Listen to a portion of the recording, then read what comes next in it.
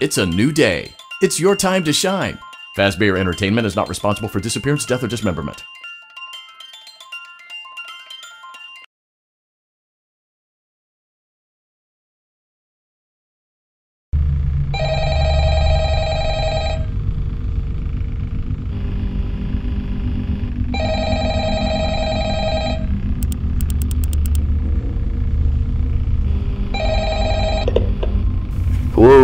Hello, hello, hello, and welcome to your new winter job at our recently rebuilt Freddy Fazbear's restaurant. Now, I'm going to go through some of the things that you'd expect to see during your first few days here as we get started down this new and rightfully exciting career path. Now, first, I want you, before we continue, to bust out of your head any myths that you might have heard about our old location. You know, uh, those stories that were in the newspapers a few years ago about the kids and the adult who went missing within our old pizzeria.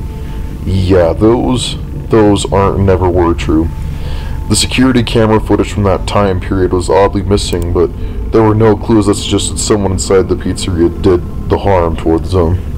One of the detectives was so determined to end the case that he accused that one of our own robots was the possible suspect. He was truly out of his mind, so we had to get rid of him, and so did the police. Anyway, that is